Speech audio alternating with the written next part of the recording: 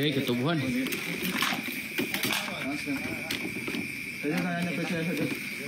Katubuhan.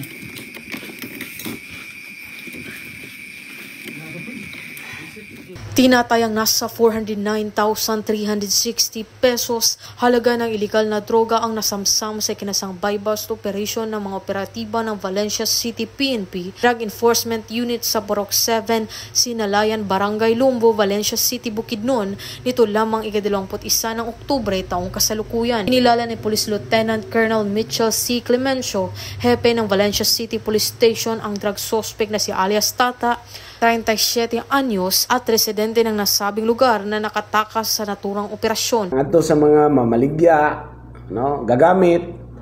Uh, mo ni siya, ako mo hangyoon nga mundang mo. Hantod nga dili pa ta mag-abot. Ang balaod, eh, kanunay na magukod sa inyo na ikinasa ang buy-bust operation ng mga operatiba na nagresulta sa pagkakakumpiska ng pitong peraso ng pakete ng hinihinalang shabu na may bigat na nasa 60.2 na gramo, may halagang 409,360 pesos, isang sling bag, cellphone at 500 peso bill na ginamit bilang buy-bust money sa mismong bahay ng drug suspect. Tablangan. Tatablangan. No. Ingon mo sukol. Ano man lagi? Grabe.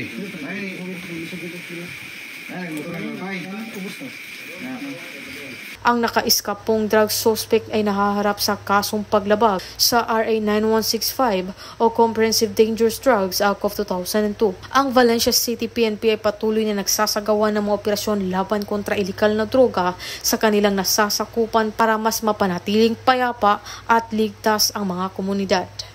Mula dito sa Police Regional Office 10, ako ang inyong Police News Network Correspondent Patrol Woman Danasa Berdos, alagad ng batas tagataguyod ng Balitang Pulis.